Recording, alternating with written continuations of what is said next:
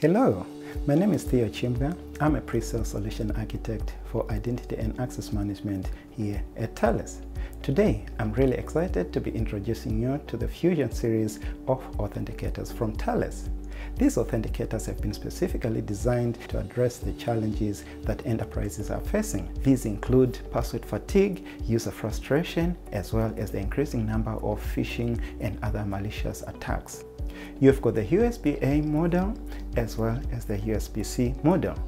The USB-C connectors mean these authenticators can be used with a wide range of end-user devices. The authenticators support public key infrastructure PKI as well as FIDO or fast identity online technologies. These two technologies are based on public key cryptography, which is a tried and tested uh, technology that has been around for a while and is just about the best deterrent against phishing attacks today. The PKI capability ensures that you have the same features and functionalities that you might already be used to in terms of secure access to the desktop and electronic signatures for emails as well as documents.